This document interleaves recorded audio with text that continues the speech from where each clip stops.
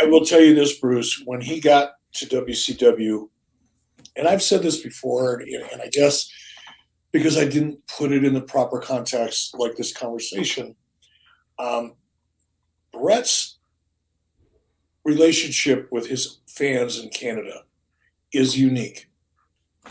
He it matters a lot to, or I don't know what it is now. I haven't talked about it in a long time, but I'm I imagine it's still very important to him. Bret was crushed. I mean, he was the Bret that I talked to before he actually showed up to work. I was a completely different Bret.